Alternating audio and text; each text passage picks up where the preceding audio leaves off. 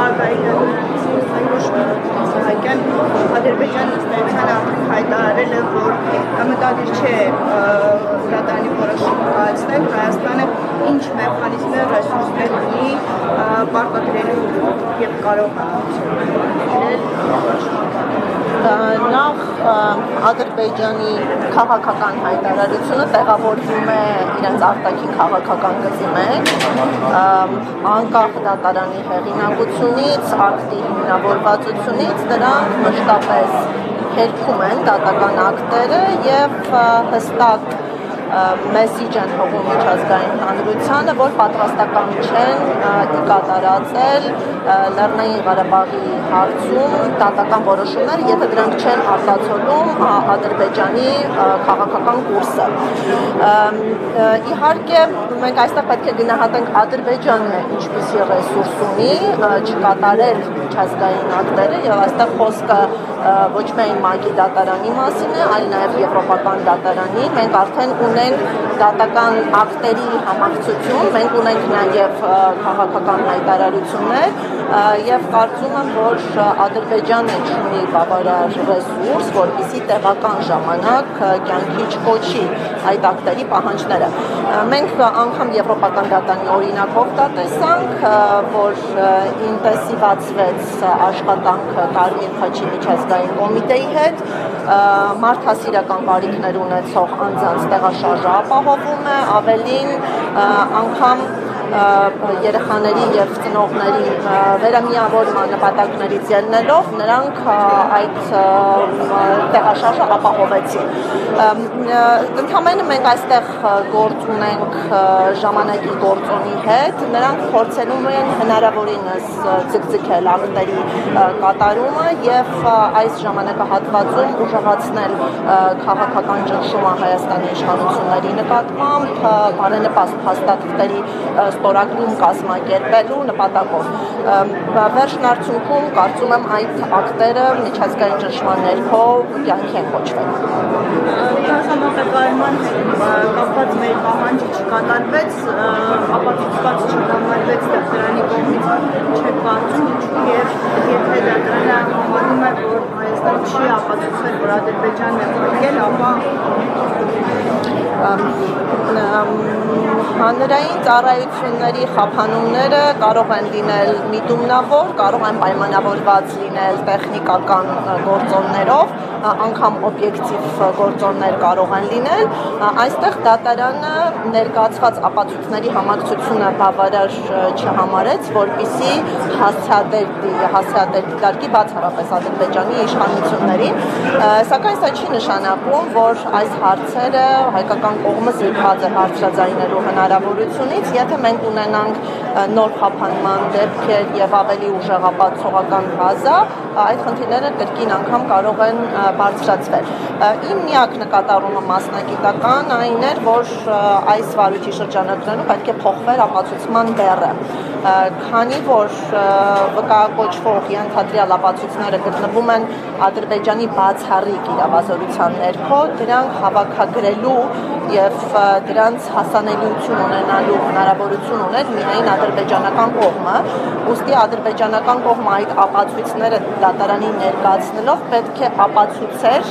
որ դրանք արդյունք չեն Ադրբեջանի գործողությունների եւ եթե հրաժարվեր ապացույցներ տրամադրելուց դատարանը այստեղ կարող էր հակադիր եզրահանգումների գալ եւ հայկական կողմի պահանջները համարել ապացուցված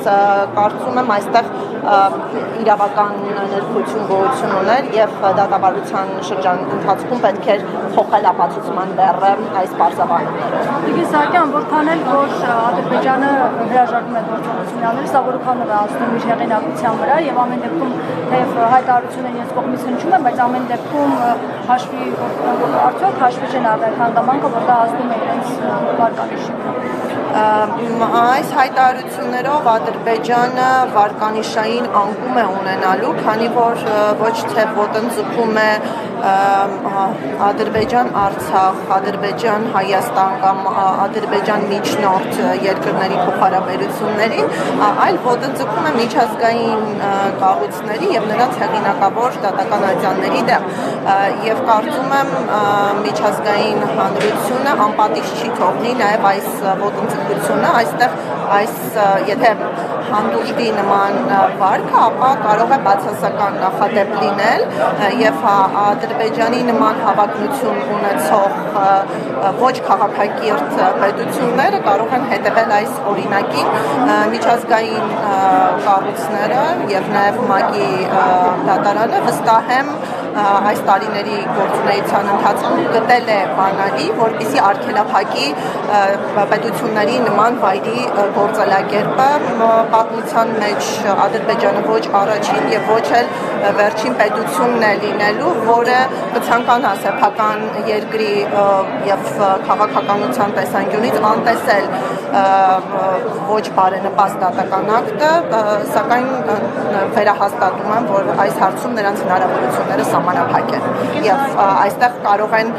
կարճատև օգուտներ քաղել, բայց ժամանակի մեջ այդ ճնշումը ինտենսիվանալու է եւ նրանք կկատարեն դատական ակտի պահանջները։ Բայց այդ ժամանակը մոտավորապես 3 տարի, ինչքան ժամանակում կարող է գործողությունը։ Դա կախված է ճնշման ինտենսիվությունից, այսինքն բացելը ուղիղ կապի մեջ է գտնվում միջազգային հանրության ճնշումից։ Իսկ միջազգային ճնշում գեներացնելու համար պետք է իրավական ակտերից զատ կայացվեն նաև ճիշտ գիտական քայլեր եւ մենք կարողանանք իրավական ակտերը կապիտալացնել քաղաքականության մեջ։ Այսինքն այս որոշումը որ կա, ինչ որ ժամկետ չունի, որ այս ժամկետից հետո արդեն գործողությունը պետք է աճի։ Որոշման ուժի մեջ մտնելու պահից արդեն իսկ Ադրբեջանը պարտավոր է իր տիրապետության տակ գտնվող բոլոր ջանքերը գործադրել տեղաշարժը ապահովելու համար, այսինքն արդեն իսկ Ադրբեջանը գտնվում է որոշակի միջոցառումներ իրականացնելու պարտականության ներքո եւ գործընթացների մասին պետք է բարբերաբար տեղեկություններ տրամադրեն դատարանին եւ եթե դատարանը այդ քայլերը ոչ բավարար գնահատի կամ տեսնի կատարելուց հրաժարվելու միտում, ապա դրա մասին որպես կանոն տեղեկացվում են ՄԱԿ-ի հիմնական մարմինները, ինչպես նաև համապատասխան մանդատ ունեցող այլ կառույցները եւ այնտեղ քննարկումների միջոցով պետք է բանեցվի քաղաքական ճնշում։ Այսինքն դու կարծում ես, քանի որ հայտարարություններ է արվում իրենց կողմից, այնուամենայնիվ իրենց վրա սա ազդեցություն է թողել եւ այս ուղղությամբ իրենք ամեն դեպքում տաղոված են եւ քայլեր կանեն։ Արդեն իսկ հայտարարության գոյությունը վկայում է, որ նրանք անհանգստացած են այդ ակտիվությամբ Սահակյան նախադեպ եղել է, երբ միջազգային կառույցների որոշումները, վիճիրները այսպիսի դատարանների չեն կատարվել եւ ես ուզում եմ հասկանալ այս դեպքում միջազգային կառույցներում կարող է միջազգային դատարանը նաեւ քաղաքական շահը, տնտեսական շահը կարող է երկրորդվել նույն հեղինակությանը, որ ըստեյության վտանգ է դնում Ադրբեջանը բնականաբար եղել են պետություններ, ովքեր չեն ընդունել եւ ամեն կերպ խուսափել են դատական ակտի պահանջները կատարելուց, բայց կարծես թե ժամանակի մեջ կոնսենսուսային լուծումներ գտնվել են։ Այս կառույցները իհարկե ունեն տնտեսական եւ այլ բնույթի շահեր եւ արդարադատություն իրականացնելիս զգայուն են առնվազն այդ գործոնների հանդեպ, սակայն եթե վերադասելու լինեին այս շահերը, կարծում եմ պարզապես կկանխվեր որոշման կայացումը։ Իսկ որոշման կայացումից հետո սրանք վճռորոշ գործոններ չեն, քանի որ նշում եմ, որ այդ ակտերի պահանջները չկատարելը արդեն ոչ թե ընդհանրապես վտանգում է Հայաստանի ուժը կամ Հայաստանի հեղինակությունը կամ նույն Արցախին, այլ սա մարտահրավեր է նետված միջազգային կառույցների եւ նրանց դատական ատյանների եւ չեմ կարծում, որ նրանք չընդունեն այդ մարտահրավերը եւ